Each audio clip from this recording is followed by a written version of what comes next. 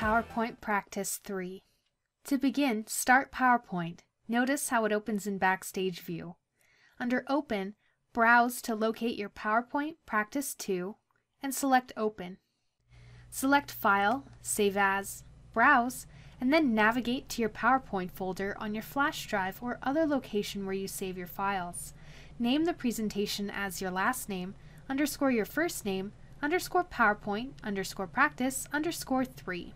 There should be six slides in your slide deck. Ensure your presentation is in normal view and select slide 5. Compare your screen to the example. With slide 5 active, on the Home tab in the Slides group, select the arrow under New Slide and add a new slide with the title and content layout. This will be your new slide 6. In the Click to Add Title placeholder, type Students Succeed here. In the text box below the title, add a bulleted list with the following. Ensure the default bullet of a right-facing arrow is applied to the list.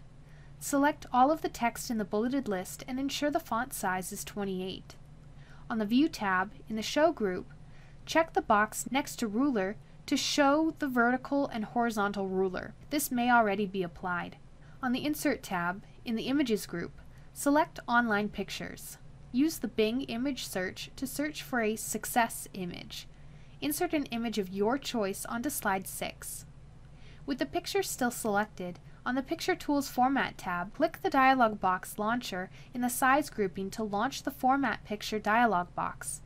Set the height of the picture to 2 inches and the width of the picture to 3 inches. If necessary, uncheck the Lock Aspect Ratio checkbox. Compare your screen to the example and then close the Format Picture dialog box. Select the image and move it slowly to the left and right, up and down. Notice how markers or smart guides appear on the slide and on the ruler. Use the smart guides to align the picture at approximately the half inch mark on the vertical ruler and the 3 inch mark on the lower half of the horizontal ruler. Use your best judgment to align the picture in the white space in the lower right hand corner of the slide.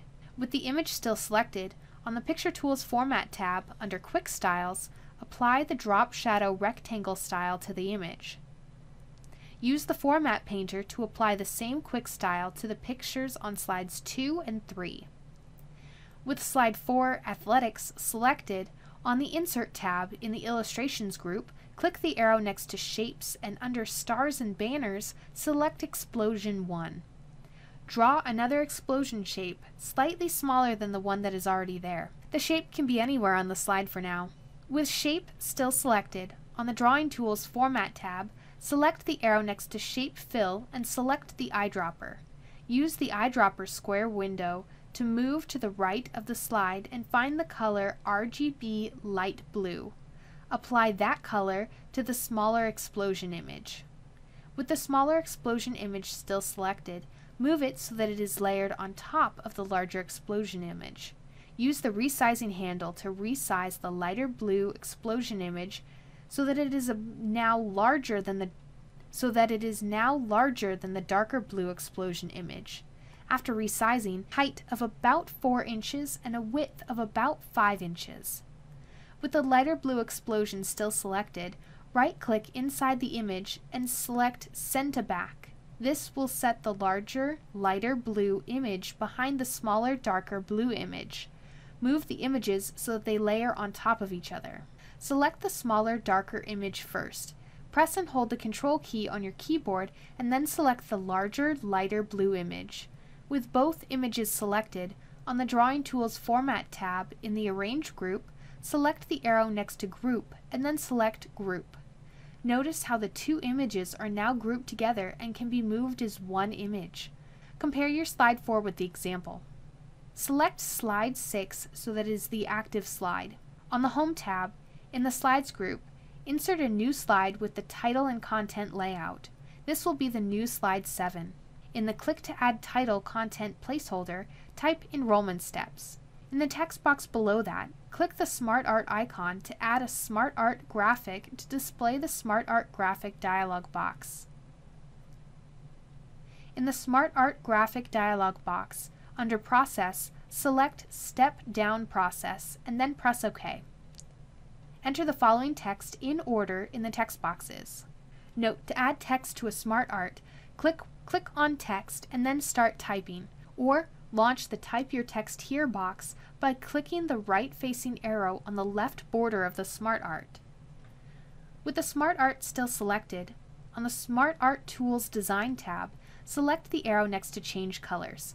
Under Accent 2, select Gradient Range Accent 2. With the Smart Art still selected, under Quick Styles, under Best Match, select Intense Effect. Select the entire Smart Art and move it up slightly so there is additional white space below it. Deselect the Smart Art. With Slide 7 still active, on the Insert tab in the text group, select the arrow under Word Art and select the Fill Blue Accent 1 Shadow Word Art style. In the text box, type Register Early. Click the outer edge of Word Art text box to move it below the Smart Art. With the Word Art still selected, on the Drawing Tools Format tab, in the Shape Styles group, select the bottom to see additional shape styles. Select the second shape style under Theme Styles, Colored Outline Blue Accent 1.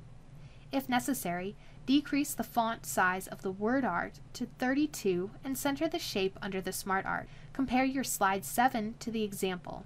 On the Review tab, under Proofing, run spelling and grammar check and make any corrections.